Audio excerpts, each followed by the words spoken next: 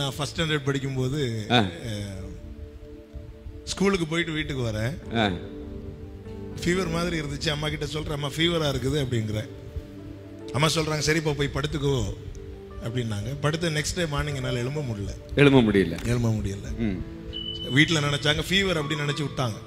ஒரு ரெண்டு நாள் ஆச்சு மூணு நாள் ஆச்சு என் கை கால்லாம் அப்படி சூம்ப தொடங்கிட்டு அப்படி லீன் ஆக தொடங்கிட்டு. ஸோ வந்து பார்த்தவங்க சொன்னாங்க இது போலியோ அட்டாக் அப்படின்னு கொஞ்சம் பேர் சொன்னாங்க.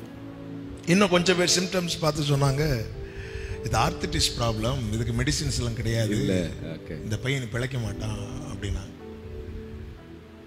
ஒரு பதினாறு நாள் பதினாறு. பதினாறு நாள் சிக்ஸ்டீன் டேஸ் படுத்த படுக்கையில இருந்தேன். தலை மட்டும் தான் அசையும் என் கை கால் எதுவுமே அசைக்க முடியாது.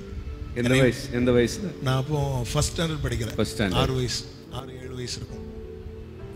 எனக்கு நல்ல ஞாபகம் இருக்குது. என் முதுகுல ஏதாவது பூச்சியோ எறும்போ கடிச்சதுன்னா நான் கத்துவேன். அம்மான்னு கத்துவேன். எங்க அம்மா என்ன அப்படி திருப்பி போட்டு அதை தட்டி விடுவாங்க. ஸோ எல்லாரும் என்ன பார்க்க வந்தாங்க. எதுக்கு பார்க்க வந்தாங்க அப்படின்னா இந்த பையனை பிழைக்க மாட்டான். மறிச்சிருவாரு. ஆமா இறந்துருவான். ஏன்னா அந்த டிசீஸுக்கு வந்து.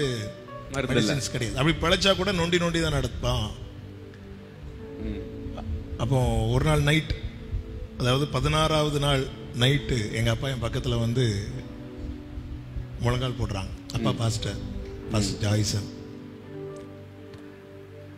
next day அவங்க ஒரு கன்வென்ஷன்ல ப்ரீச் பண்ணணும்.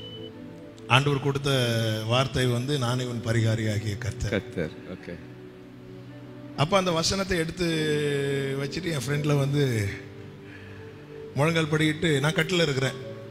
ஆண்டவரை பார்த்து சொல்கிறாங்க ஆண்டவர் நாளைக்கு நான் கன்வென்ஷனில் போய் பேச போகிறேன் நீங்கள் நல்ல பரிகாரின்னு நான் பேச போகிறேன் அப்படி பேசும்போது கூட்டத்திலேருந்து ஒருத்தர் எழும்பி ஆண்டவர் நல்ல பரிகாரின்னு எங்களுக்கு சொல்றியே உன் வீட்டில் இருக்கிறவனுக்கே இன்னும் எந்த ஒரு பரிகாரம் கிடைக்கலையேன்னு கேட்டா அதனால உம்முடைய நாமம் தூஷிக்கப்படுமே. உம்முடைய நாமத்தை மகிமைப்படுத்துன்னு சொல்லி அழுது ஜோம் பண்ணாங்க. ம். ஆண்டவர் சமூகத்தில் மனத்தாழ்மையா சொல்றேன். அவங்க கண்ணிலேருந்து இந்த வார்த்தையை அவங்க சொல்லி அவங்க கண்ணிலேருந்து கண்ணீர் கீழே விழுந்த மாத்திரத்தில் பதினாறு நாட்கள் செயலற்று கிடந்த என்னை ஆண்டவர் எழும்பி முழங்காப்படியிட கிருபை சார்